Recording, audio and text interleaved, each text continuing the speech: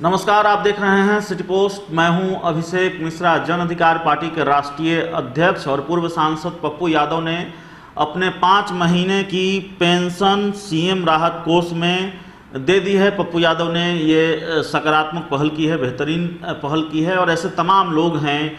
आम और ख़ास जो सीएम राहत कोष में, प्रधानमंत्री राहत कोष में अपनी क्षमता के अनुसार राशि दे रहे हैं ताकि कोरोना पीड़ितों की मदद हो सके लॉकडाउन में जो लोग फंसे हैं उनकी मदद हो सके। तो पप्पू यादव ने अपने पाँच महीने की पेंशन सीएम राहत कोष में दी है और उन्होंने कहा है कि हम सभी देशवासी मिलजुल कर कोरोना को हराएँगे। लॉकडाउन में देश की जनता परेशान है।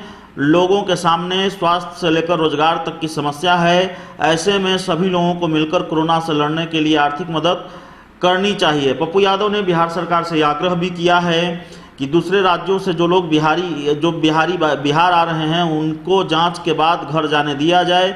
जो इतने दूर से आए हैं, उनको सीमा पर खड़ा न किया जाए। तो पप्पू यादव ने एक और डिमांड कर दी है। आपको बता दें कि जो लोग दूसरे प्रदेशों से बिहार आ रहे हैं, यानी बिहार के बाहर के लोग जो दूसरे प्रदेशों में काम करते हैं और लॉकडाउन के दौरान बिहार आ रहे हैं, उनके बारे में पप्पू यादव ने डिमांड की है कि उनको जो आइसोलेशन में रखा जा रहा है, क्वारंटाइन में रखा जा रहा है तेरह चौदह दिनों के लिए, उनको वहाँ न रखा जाए, उनकी प्रॉपर जाँच हो और उसके बाद उनको अपने घर जाने दिया जाए तो बड़ी मांग कर दी है पप्पू यादव ने और लगातार वे कोरोना के दौरान मदद कर भी रहे हैं लोगों को जो लोग बिहार आ रहे हैं, आ रहे हैं, पैदल उनकी भी मदद कर रहे हैं पप्पू यादव।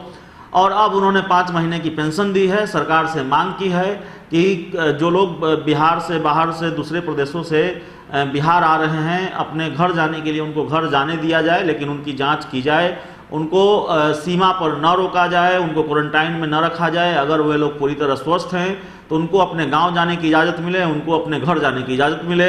इस खबर में इतना ही, अगर आपको हमारी खबर अच्छी लगे, इसे अपने दोस्तों के साथ शेयर करें, हमारे यूट्यूब चैनल को सब्सक्राइब करें वेल आइकन ज़रूर दबा दें ताकि हमारी खबरें सबसे पहले आप तक पहुँचे। प्यार, समर्थन और सहयोग के लिए बहुत बहुत धन्यवाद।